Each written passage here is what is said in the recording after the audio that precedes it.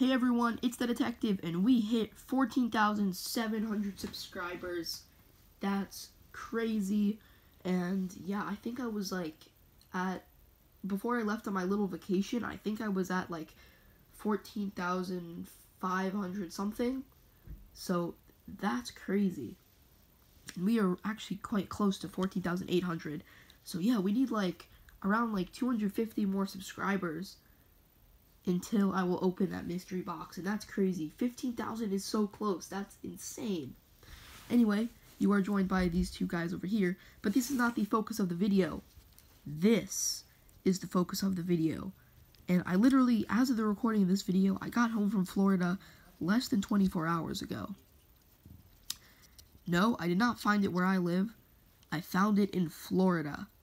And not just at like a Walmart or a Target but I found it at GameStop. And I was really lucky. We were going out for lunch and we were kind of like in a little shopping mall sort of thing. And they had a GameStop there and you know, I'm a fan of video games. I didn't really expect to find Bakugan, but I, I asked my grandparents if I could go over there. And I did. My brother went, and they had some of the new Bakugan. Now, what's weird is that I asked the guy if he had a full case, and the guy said, no, they just get a random assortment and it's not a full case, like an official sealed case. So that probably means no diamonds, which sucks. They had one Trox Ultra, which is this, two Krakelios Ultra, one Drago, and four Mantonoid Core.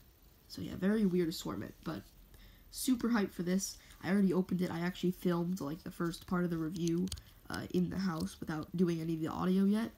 So yeah, but if you watched my video from earlier today, which I filmed last night, I am unable to access any of my recording stuff. So I actually can't film the review for this guy for a while, which is a bit unfortunate. But anyway, like, my bed is literally the only place where I can film videos now. But, uh, let's see if I can get him to stand. Probably not. But, come on. There we go. So he is so cool looking in person, well, this is kind of the better angle, I guess. This is just such a cool looking Bakugan, if I do say so myself.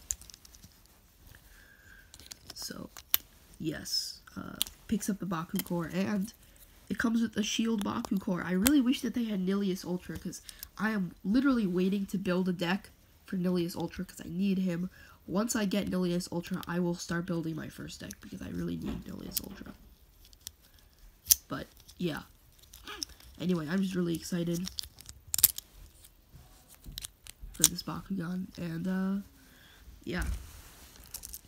So, I'm pretty hyped. What about you?